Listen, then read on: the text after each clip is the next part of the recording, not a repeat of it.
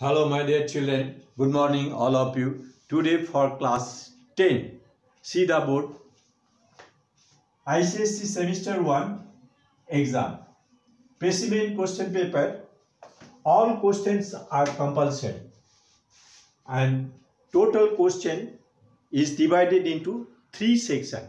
Section A, B and C. Section A, 8 marks. Section B, 6 marks. And section C also 6 marks.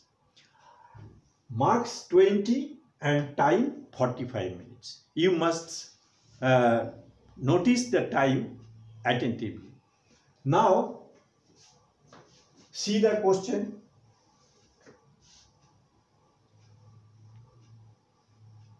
Please see the remaining part. Please see the remaining parts of the question that is 11, 12, section C and section B.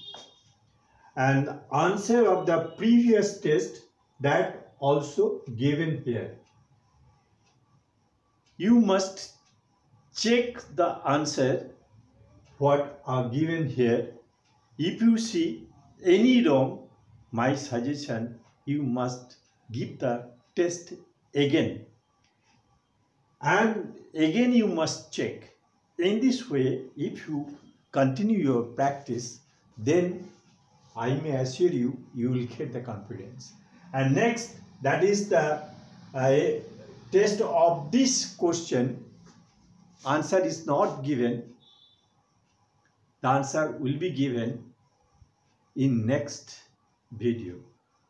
Same thing you have to do for this test also Please see the question.